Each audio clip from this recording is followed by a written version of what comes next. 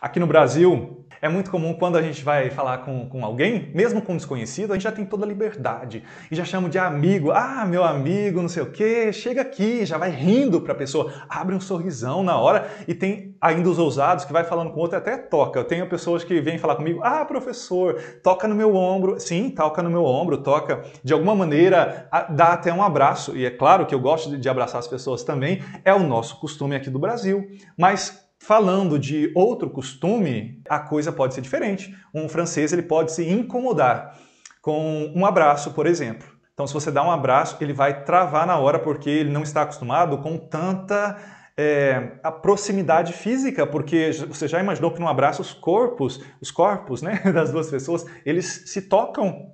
Então, para os franceses é mais comum um felabisa, como se ah, mua, mua, mua e às vezes nem faz a bisa direito, ó. Mua, mua, mua, em sinal de respeito ao espaço do outro.